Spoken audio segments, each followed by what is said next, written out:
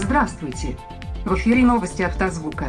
На прошлой неделе компания Sony выпустила магнитолу с очень мощным встроенным усилителем и очень странным дизайном. all of your friends over to see if any of them can figure out this motherfucking time vampire. Unless one of them is a rocket scientist, Sony pretty much guarantees they'll have no chance. Очевидцы утверждают, что на передней панели магнитолы, так же, как и на печально известной Lada Vesta, отчетливо видно букву «Х».